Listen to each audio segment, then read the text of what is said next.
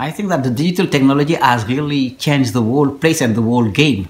It's a boulevard of, I really think, real opportunities for the young people in Africa, for um, women, for people in the rural areas, due to the mobile boom that we have noticed in Africa, which is something almost unprecedented.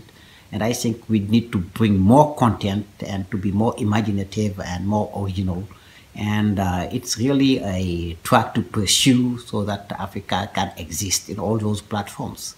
The most important challenge I think is okay is the one of content. Infrastructure is very key, but at the same time, content I think is a major uh, issue because we need to show our own stories. We need to show what we can do. We need to get added values to our own content and our culture, our economy and uh, really uh, we need to be at the same level as the African um, annual growth, which is going and going and one of the best in the world now.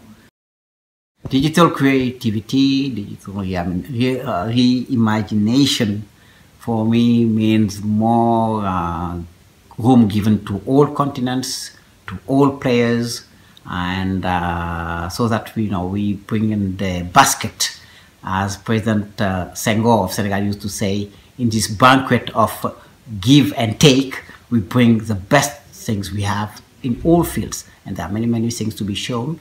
And uh, I think that the digital area and digital tools enable us to have some kind of shortcuts and get where all other continents and all other people are.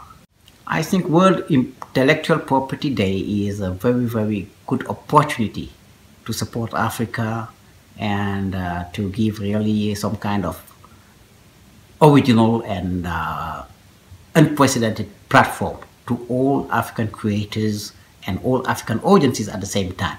Really, we need to support it very, very, very strongly.